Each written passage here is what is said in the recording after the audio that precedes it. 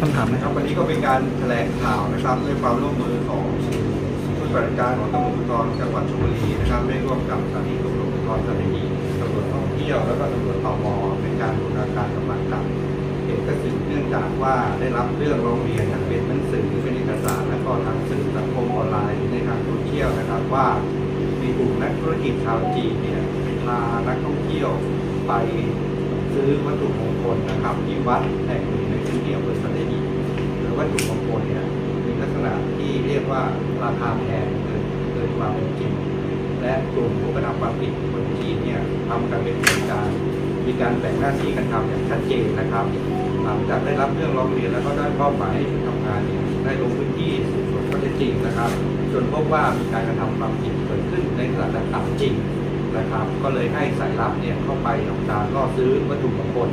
นะครับ แล้วก็ได้มีการก่อนที่จะดำเนินการในเรื่องนี้ก็ได้มีการลงบันทึกประจำวันที่เป็นหลักฐานและให้สายลับเนี่ยเข้าไปล่อซื้อ หลังจากที่มีการซื้อขายกันแล้วเนี่ยก็เลยได้เข้าไปทำการจับกลุ่มซึ่งจากการตรวจสอบนะครับกลุ่มที่ทำงานในสถานเนี่ยถือพาสปอร์ตเข้าเมืองโดยถูกต้องนะครับถือวีซ่านักท่องเที่ยวแต่มาทำงานเป็นลูกจ้างด้านการขายซึ่งเป็นการกระทำความผิดกฎ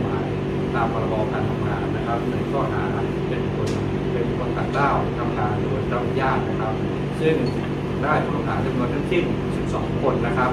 โดยมีการแบ่งหน้าที่การทำในต่างๆของการแนะนำวัตถุมงคลว่ามีสิ่งศักดิ์สิทธิ์มีความศักดิ์สิทธิ์แบบนั้นนะครับ ลักษณะที่เรียกว่าโชว์สรรพคุณหรืออธิบายสรรพคุณให้กับนักท่องเที่ยวทราบอีกกลุ่มหนึ่งก็คือกลุ่มของพนักงานขาย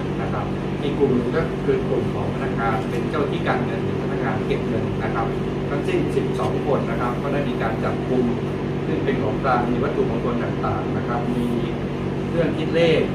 มีเครื่องนับเงินมีเอกสารต่างๆนะครับ ซึ่งในการจ่ายเงินของนักท่องเที่ยวที่ซื้อของเนี่ยก็จะจ่ายเป็นเงินสดเป็นเงินไทยก็ก็มีนะครับ เป็นเงินหยวนก็มีเป็นการจ่ายบัตรเครดิตก็มีนะครับ ในเบื้องต้นนี้ก็ได้ดำเนินคดีกับคนจีนทั้งสิ้น12 คนนะครับ ในข้อหาเป็นคนต่างด้าวทำงานโดยรับญาตินะครับ ในขั้นตอนต่อไปก็จะได้สืบสวนหาที่มาของผู้ว่าจ้างนะครับผู้ว่าจ้างแล้วก็ที่มาของวัตถุมงคลต่างๆเหล่านี้เพื่อที่จะเอ่อดำเนินการจับกลุ่มกลุ่มผู้กระทำความผิดเหล่านี้ให้เสร็จสิ้นไป ก็มีข้อมูลนะครับ ข้อมูลข้อจริงเพิ่มเติมว่ามีวัดลักษณะที่กระทำความ มีพฤติการในสถานต่างก็ขอให้แจ้งข้อมูลมาที่คณะกรรมการของตำรวจภูธรจังหวัดชลบุรีหรือในพื้นที่ที่วัดตั้งอยู่นะครับรวมทั้งตมด้วยรวมทั้งท่องเที่ยวด้วยนะครับ เพื่อเรียกการตรวจจับกลุ่มให้ให้สิ้นไป ส่วนสำหรับกรณีที่วัตถุมงคลที่ผู้ซื้อเห็นว่ามีราคาสูงเกินกว่าความเป็นจริงนะครับ ก็อยากจะประสัมพันธ์ว่าหากได้รับความเสียหายหรือเชื่อว่าตัวเองถูกหลอกลวงก็ขอให้มาแจ้งความร้องทุกข์กับพนักงานสอบสวนท้องที่เกิดเหตุได้ เพื่อสอบสวนดำเนิน เบื้องต้นนี้ก็ต้องขอขอบคุณทีมงานนะครับชุดทำงานของตำรวจจังหวัดทั้งของพื้นที่คือโรงพักสัตหีทางเจ้าหน้าที่ตำรวจท่องเที่ยวตำรวจตมด้วยที่ได้ร่วมมือกันทำงานในการบูรณาการการทำงานร่วมกัน